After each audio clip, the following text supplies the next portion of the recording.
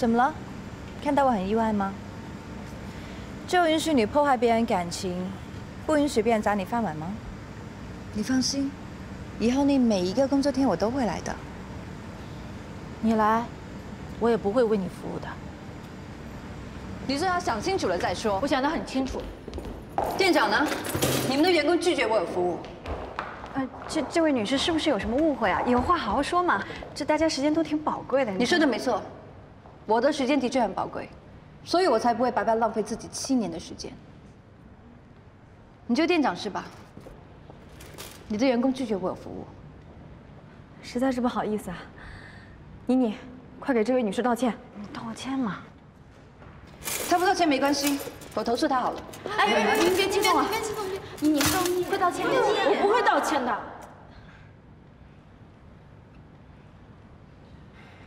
我也不会为你提供服务。你不是就会来店里闹吗？好啊，我现在就辞职。辞什么职啊？我不干了，你还能怎么样啊？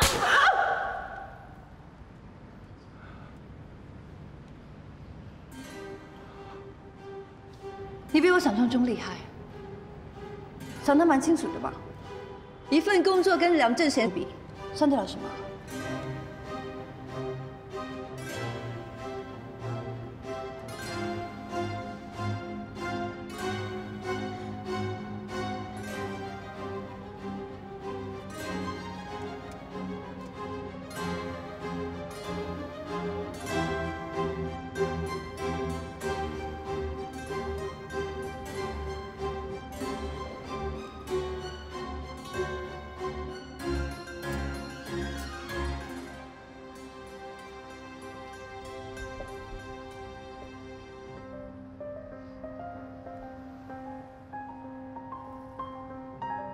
赵小姐，我爱梁正贤，他也爱我。我跟他在一起的时候，真的不知道你的存在。我不能否认对你造成的伤害，但我认为我没有做错。你更不必一而再、再而三的给我难堪，而是应该好好的跟梁正贤聊一聊。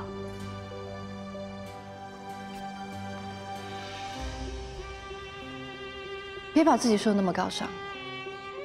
你问问你自己，你是爱他的人，还是爱他的钱呢？像你这样的女孩子，我见得多了，就是用以爱情去掩饰自己的虚荣跟自私。我爱的是他这个人。他说他会离开香港的，哪怕他一无所有，我也愿意跟他在一起。我贪图的是他的爱，不是钱。这你倒提醒我了，你猜，他想的会跟你一样吗？一样。他说过愿意为了我做任何事情。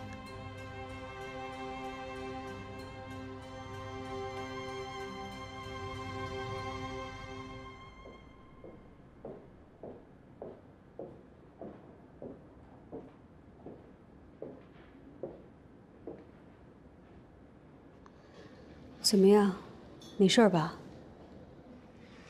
来，拿冰块敷敷脸，这毛巾是新的啊。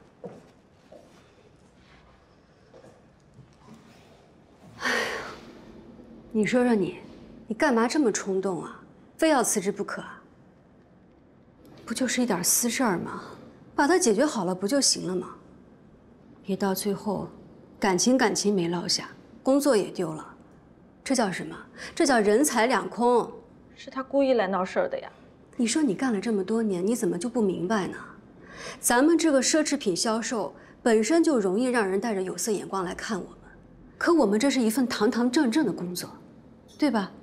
你说你这么多年这么拼，为了什么？你现在要拿你安身立命的饭碗开玩笑，你有意思吗？反正你辞职这事儿啊。我就没听到，也当你没说过。我呢，给你几天时间，你回去放个假，好好休息一下，调整一下。我希望你带着全身的面貌回来工作。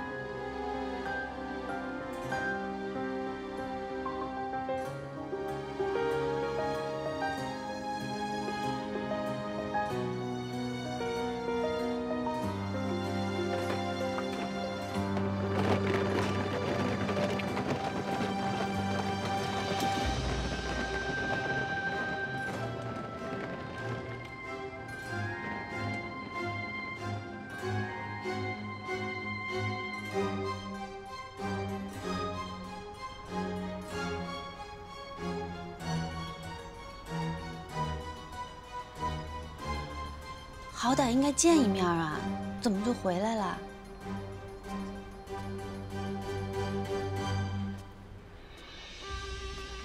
你要是难过，你就哭吧，哭出来就好了。我就是这样的，有什么糟心事儿，哭出来就全忘了。要不我们去大吃一顿吧，化悲痛为饭量。曼妮，你说句话呀，你这样我特别慌。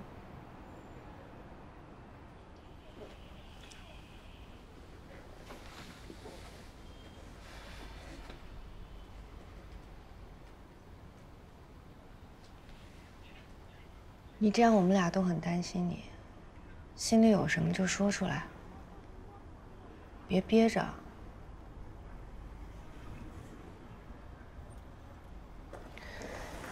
你自己在这水深火热的，要死要活的，人家呢，人家那边风轻云淡，毫无波澜，你这不是折磨你自己吗？曼妮。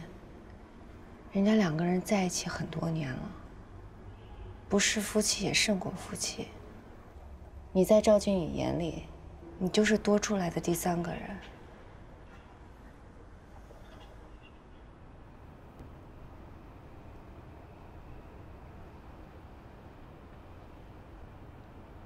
我不是第三个人。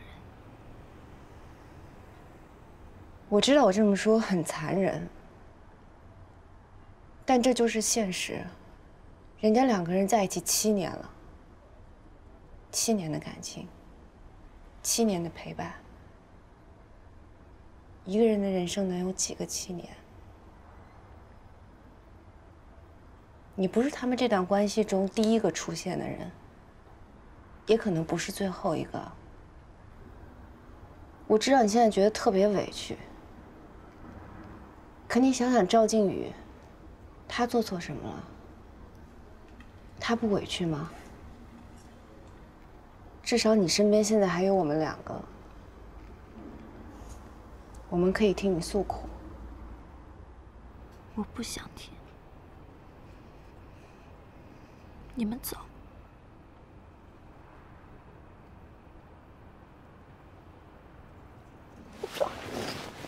曼妮，你别误会，哎，曼妮。曼妮，走，王曼妮，我不管你现在有多伤心、多难过，但你要明白，这个世界上只有你自己爱你自己。这个坎儿，你一定要迈过去。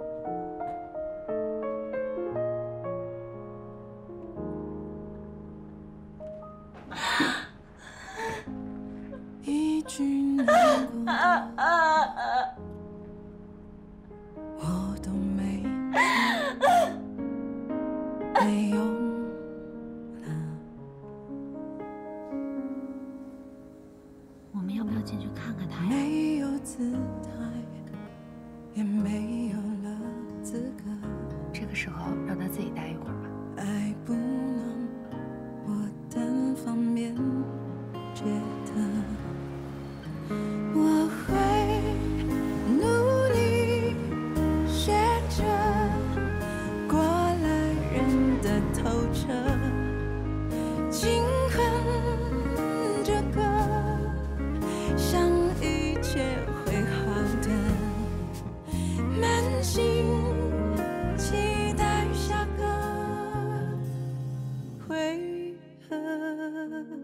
曼妮，你听我的，任何时候都不能输了姿态。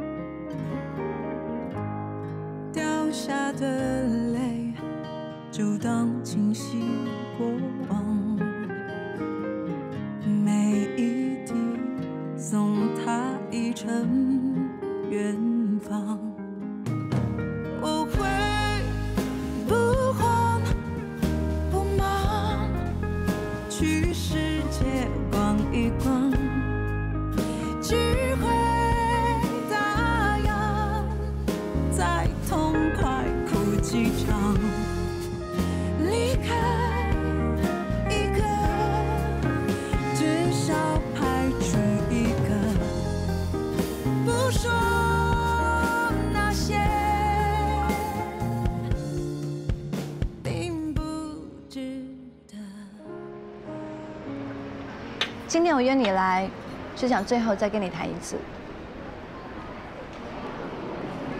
谈什么呀？你难道都不好奇的吗？之前梁正贤提前订好的机票、酒店、船潜的票是给谁的？你不是就想说是给你的吗？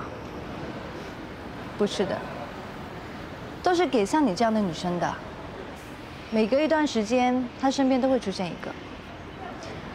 我跟他虽然不是法定的夫妻关系，但是每一次都是我出面帮他解决这些女生的，并不是他拿我没有办法，而是一种默许。他先前改过了，不想要了，又不想自己做坏人。最好的解决方法就是找我出来宣示主权，让这些女孩子自动退出。这也就是我跟他之间心照不宣的默契。其实我可以感觉得到，你跟过去那些女孩子都不一样，连我都差点觉得梁真贤动了真情，真的要抛弃我了。所以我一急就跑到你店里面去捣乱。我知道那样不好看，不过现在看来啊，我还是高估你的重要性了。他又一次躲了，所以才会有我跟你这次的对话。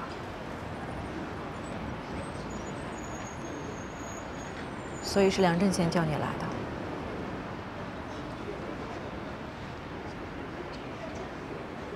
你说，我跟你两个人看起来，谁更惨啊？从明天开始，我就可以放过你了。但是谁能放过我呢？我不是没有想过要放弃这段感情，但是七年的圈养，我真的不晓得我要怎么样子自己面对生活。我也不晓得将来还有多少女生需要我去解决，但至少这是我擅长的，不是吗？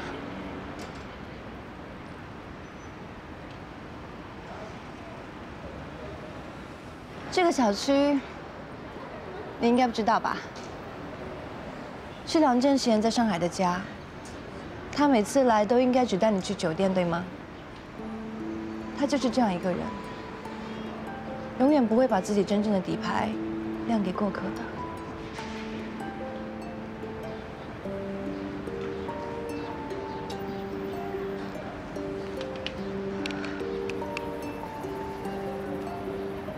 谢谢你的宝贵的时间。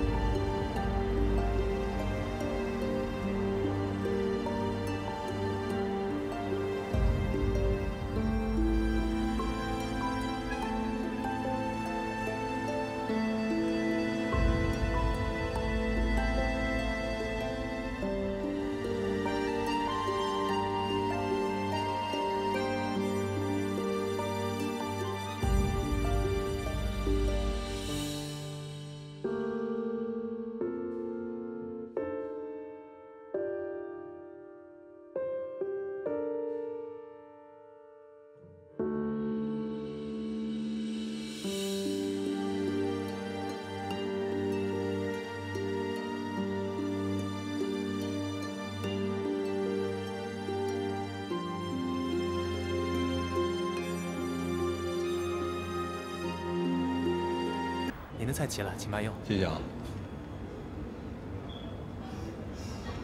你恢复吃晚饭了？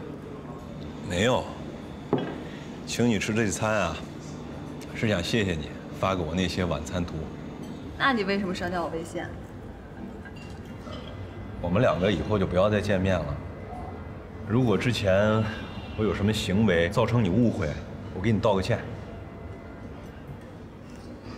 你有什么好道歉？我是已婚人士，也可能我们两个人在相处的过程当中，我有什么分寸感让你感到不适的话，那都是我的错。因为在这个世界上，我只对我的太太顾佳负责，因为她为了我，为了我们这个家，付出了太多太多了。要不是她，就没有今天的我；要不是她，我们家也这话说给我听的，还是说给自己听的？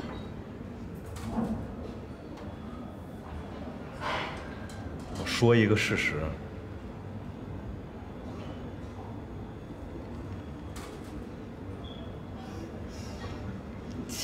记得第一次见你的时候，你脸上带着伤，一看就是打架打的。这个年纪还能打架挂彩的男人，一定是有趣的人。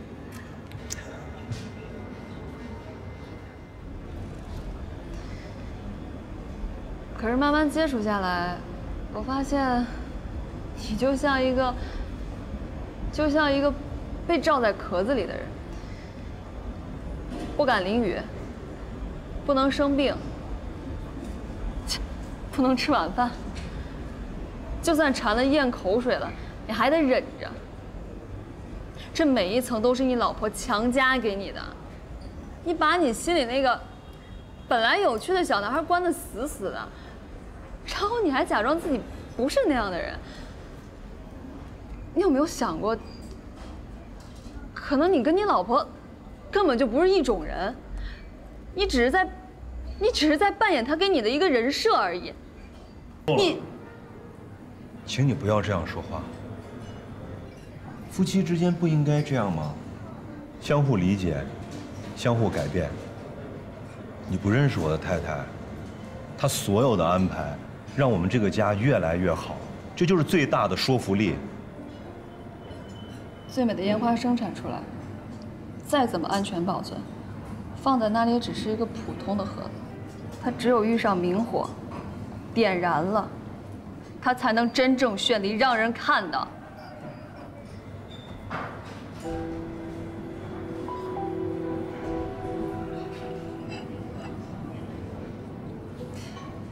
如果我没猜错，你老婆一定最怕火吧？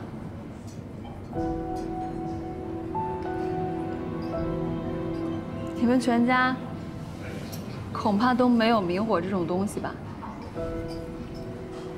我今天把我想说的话都跟你说。